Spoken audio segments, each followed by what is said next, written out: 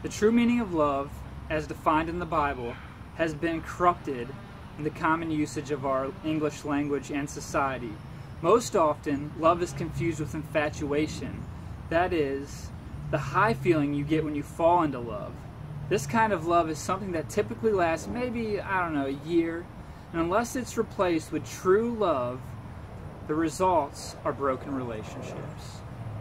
So there's this book by O.G. Mandino called The Greatest Secrets in the Earth. And in it he writes, Love is the greatest secret of all success and all ventures.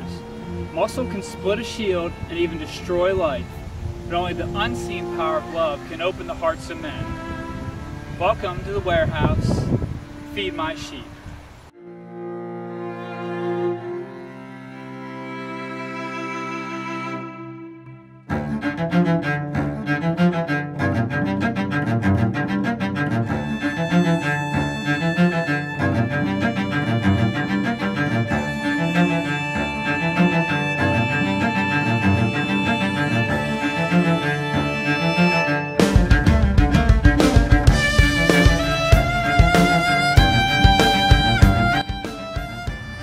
This isn't going to be some sort of great revelation. Most of you have probably heard everything I'm about to say, but it's important, I feel like, to reiterate these things because in the world that we live in today, love is one of our main weapons we can use. Love. In today's world, we use the word love all the time. I like shoes. I like them a lot. Um, I love them. I love them. Good boy. Good boy. Oh, yeah. Oh, good boy. I love my dog. He's such a good dog.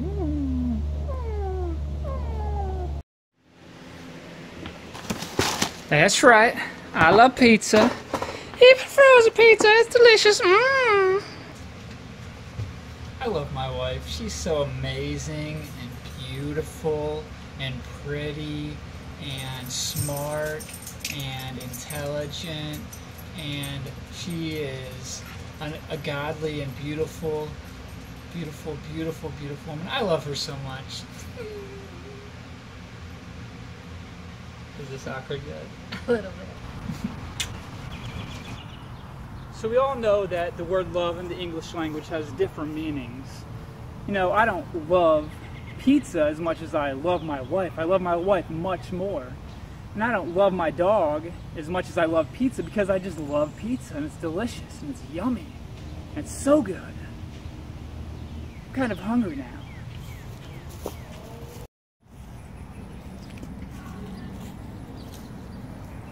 So in the Bible, they had different words for love. We have one word, and they had about four words that they used in the New Testament. They translated all into the word love, but they used words like storge or agape or eros or phileo. Storge being the, the love that you have for your family, your sister, your brother, your mother, um, your father, your aunts and uncles. Eros, a sexual type of love. Um, phileo, which um, the word Philadelphia comes from, brotherly love. And then they had agape love, the love that Christ had for us, the unconditional love that God had, the selfless love that God had to sacrifice his life for ours.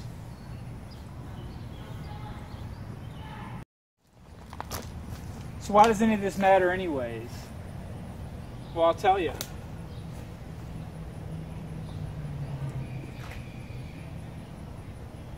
Have a seat.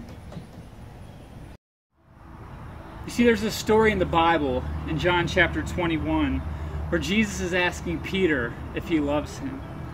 It goes something like this When they had finished eating breakfast, Jesus said to Simon Peter, Simon, son of John, do you love me more than these, more than your brothers? He said to him, Lord, you know that I love you. Jesus said, Tend my lamb. He said to him a second time, Simon, son of John, do you love me? He said to him, Yes, Lord, you know I love you. He said to him, Shepherd my sheep. A third time Jesus said to Simon Peter, Simon, son of John, do you love me? Peter was grieved because he said to him a third time, Do you love me? And he said to him, Lord, you know all things. You know that I love you. Jesus said, Tend my sheep. So, what does that have to do with anything? Well, the word love that we translate into love here is actually two different kinds of love. So, the first time Jesus asked Peter, Do you love me? He says, Simon, son of John, do you agape, do you unconditionally, selflessly love me? And Peter says, Yes, Lord, I phileo you, I brotherly love you. And Jesus says, Tend my lamb. Then Jesus asked Peter again, Peter, do you agape, unconditionally, selflessly love me? And Peter says again, Lord, I phileo you, I brotherly love you. And the third time, Jesus asked Peter, he said, Peter, do you phileo me? Do you brotherly love me? And Peter was grieved, and Peter said, Oh, now I get it.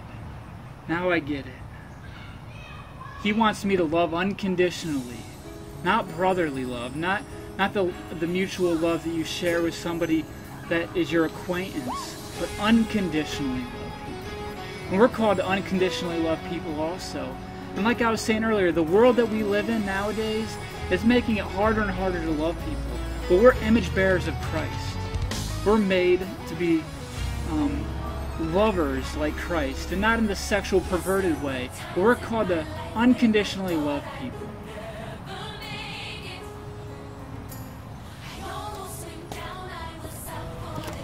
And I'll close with this. The Bible indicates that love is from God. In fact, the Bible says God is love. Love is one of the primary characteristics of God. Likewise, God has endowed us with the capacity for love since we are created in His image. The capacity for love is one of the greatest ways in which we are created in the image of God.